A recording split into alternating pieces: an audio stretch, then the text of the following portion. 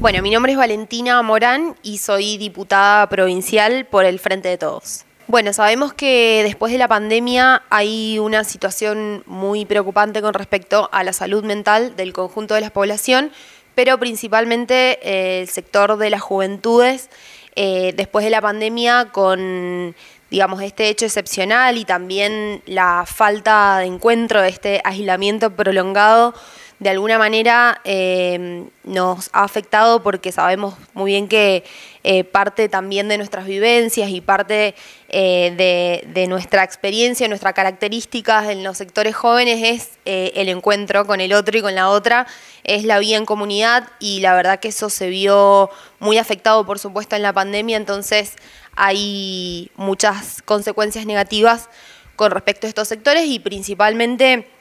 eh, sabemos que, por ejemplo, los casos de suicidio o intentos de suicidio siempre eh, están más agravados en los sectores jóvenes de 15 a 29 años principalmente. Entonces, eh, también se han estado viendo situaciones adentro de las escuelas, en las instituciones educativas, universitarias también, y esto creo que, que es un estado de alarma que de alguna manera muchos jóvenes están haciendo y, y sí, la situación es, es, preocupante y por eso entendemos que hay que prestarle atención al tema de la salud mental, que deje de ser un tabú y que podamos generar cada vez más espacios para poder hablar de las cosas que hacen a nuestra salud mental y las cosas que necesitamos.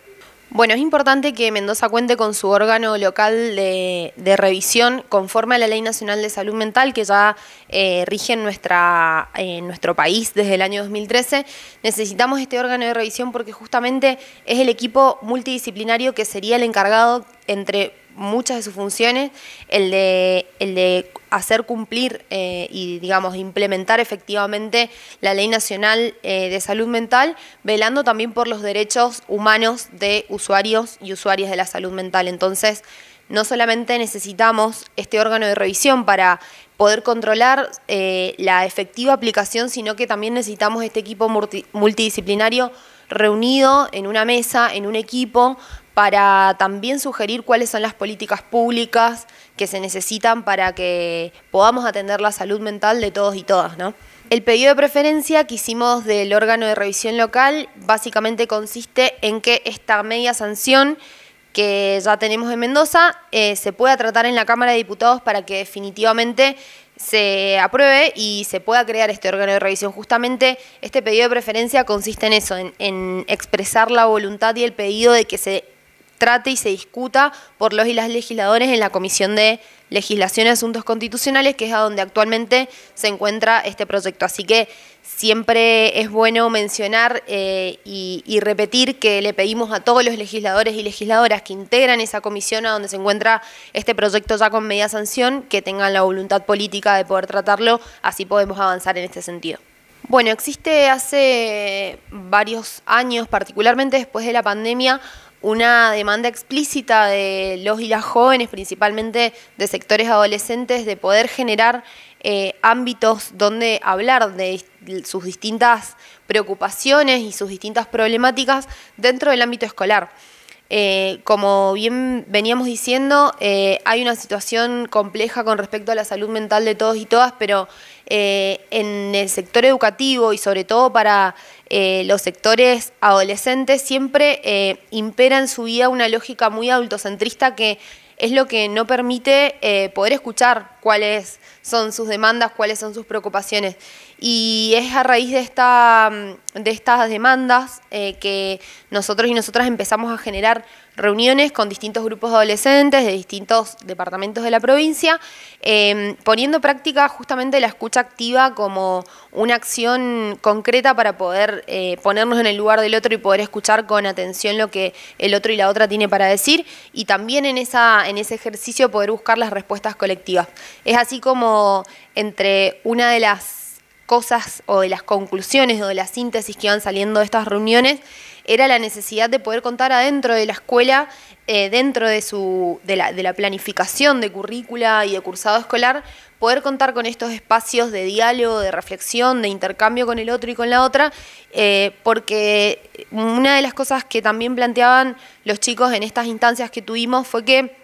para ellos es muy difícil que se dé su proceso de aprendizaje si priorizamos cumplir con una clase de matemática, pero no priorizamos cuál es su estado de salud mental. Por lo tanto, eh, un pibe o una piba que llega al aula eh, para cursar una clase de matemática, obviamente que no va a tener energías, no va a tener eh, deseos de poder prestar atención y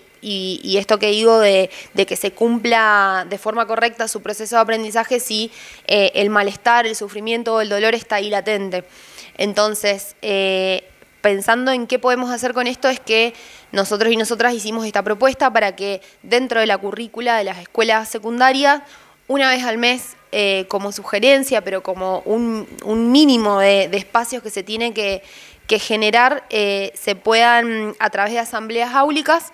poder generar estos espacios de intercambio de escucha activa entre pares, con docentes, con los y las profesionales de los servicios de orientación psicopedagógicas y que, bueno, de esa manera se puedan poner sobre la mesa cuáles son sus preocupaciones, sus problemáticas, sus demandas y que tengan adultos y adultas que puedan alojar esas necesidades y que se construyan salidas colectivas para eso. Creo que es la mejor manera y también eh, es un poco en el sentido de la Ley Nacional de Salud Mental que, que se piensa a la salud mental como el derecho a la vida en comunidad y eso es justamente lo que queremos poder generar adentro de las escuelas. Este proyecto fue presentado en la legislatura, eh, ahora está en la Comisión de Educación y Cultura eh, para que se trate, eh, se tiene que discutir en esta comisión para que pase a otra comisión de, la, de Legislación y Asuntos Constitucionales y finalmente pasaría entonces al recinto para que se pueda votar entre todos los legisladores y legisladoras. Este es el proceso que tiene que tener el proyecto de ley para que se pueda discutir, para que se pueda aprobar y bueno, y pase al Senado ya para su sanción definitiva como una ley y eso es lo que, lo que buscamos, así que esperamos que pronto eh, ese proceso, que no es fácil, se pueda dar de la forma más rápida posible. Bueno, yo creo que uno de los desafíos principales es poder eh, de alguna manera funcionar de puente para mi sector generacional eh, y que podamos cada vez más incorporar eh, o hacer escuchar nuestras voces y nuestras necesidades en la legislatura porque venimos de ocho años de una nula participación, hay una intención muy clara, a mi entender, de parte del oficialismo por cerrar los espacios de participación y hay muchas discusiones que eh, se dan a espaldas del conjunto de la sociedad. Creo que uno de los desafíos más grandes que tengo en este sentido es poder abrir eh, el espacio, este espacio de representación que tenemos en la legislatura para que eh, se puedan profundizar estos procesos de, eh, colectivos, ¿no? De, que, de, la sociedad opinando, dando su parecer con respecto a los temas que estamos tratando y por supuesto llevar esa agenda de demandas de, las juventudes principalmente a las discusiones de la legislatura. Así que creo que esos son los dos objetivos principales que, que me propongo en, esta etapa, también en estos años que, que me quedan por delante para, para estar en la legislatura.